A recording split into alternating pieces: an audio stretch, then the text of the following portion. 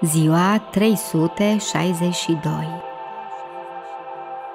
Persoana cu adevărat religioasă este foarte pământeană.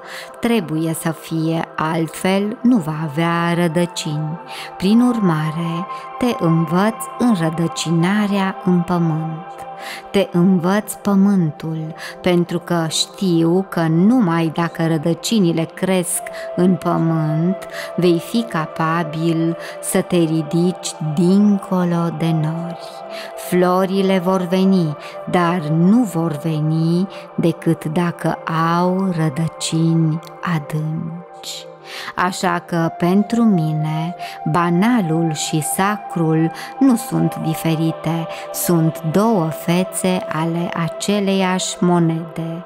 Așadar, cântatul și dansatul și iubirea și creativitatea și bucuria și râsul nu sunt împotriva sacrului, sunt părți intrinseci și nu părți mici, ci chiar jumătate din el, prima jumătate.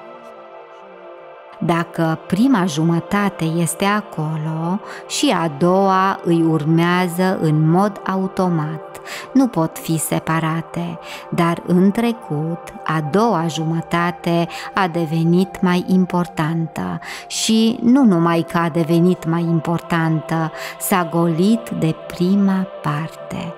Așa a murit religia, așa a murit dumnezeirea pe pământ. Dumnezeirea a devenit un copac fără rădăcini.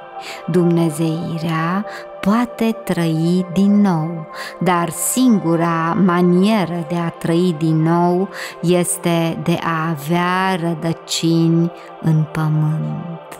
La asta mă refer când spun bucurie, cântec, sărbătoare.